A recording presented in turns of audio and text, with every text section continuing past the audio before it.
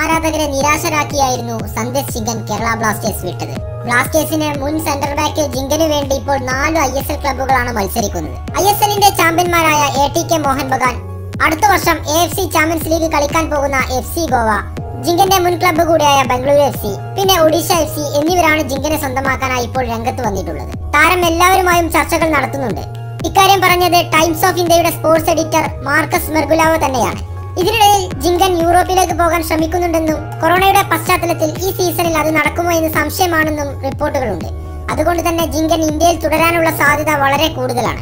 എങ്കിലും ഇതുവരെ ഒരു ക്ലബ്ബുമായും ജിങ്കൻ ധാരണയിലെത്തിയിട്ടില്ല.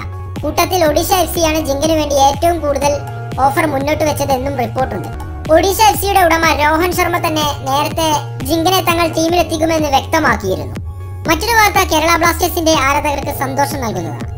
കേരള ബ്ലാസ്റ്റേഴ്സിനൊപ്പം തുടരാൻ ബാർത്തലോമിയോ വെച്ച് തീരുമാനിച്ചു എന്ന റിപ്പോർട്ട് മാനേജ്മെന്റിന്റെ മാറ്റത്തിനും കേരള ബ്ലാസ്റ്റേഴ്സിന്റെ പുതിയ പരിശീലകൻ എത്തിയത് മുതൽ നിരവധി അഭ്യൂഹങ്ങൾ തന്നെയാണ് ടീമുമായി ബന്ധപ്പെട്ട് പ്രചരിച്ചത്.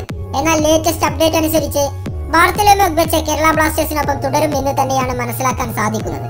നേരത്തെ സാലറി കട്ടുമായി ബന്ധപ്പെട്ട് ഒഗ്ബച്ച ടീം ഇടുമെന്ന് അഭ്യൂഹമുണ്ടായിരുന്നു സന്ദേശ് ചിങ്കൻ ബ്ലാസ്റ്റേഴ്സ് വിട്ടതിന് പിന്നാലെ ഈ അഭ്യൂഹങ്ങൾ ശക്തി കൂടി ടൈംസ് ഓഫ് ഇന്ത്യയുടെ സ്പോർട്സ് എഡിറ്റർ മാർക്കസ് മർഗലോ ഒഗ്ബച്ചയുടെ ക്യാമ്പുമായി മറ്റു ക്ലബ്ബുകൾ ബന്ധപ്പെടുന്നുണ്ടെന്നും സൂചിപ്പിച്ചിരുന്നു.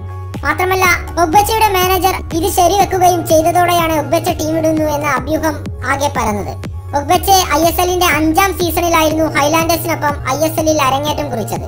സീസണിൽ അവരുടെ ചരിത്രത്തിൽ ആദ്യമായി സെമിഫൈനൽ വരെ അവരെത്തിക്കാനും താരത്തിന് സാധിച്ചിരുന്നു. പിന്നീട് ആറാം സീസണിലായിരുന്നു ബ്ലാസ്റ്റേഴ്സിലേക്ക് താരം എത്തിയത് മുൻ പി എസ് ടി സ്ട്രൈക്കർ കൂടിയായ ഒബച്ചെ ഗോൾ സ്കോറിംഗ് കഴിവിലൂടെ എല്ലാ വിമർശകരെയും ആകർഷിച്ചിരുന്നു.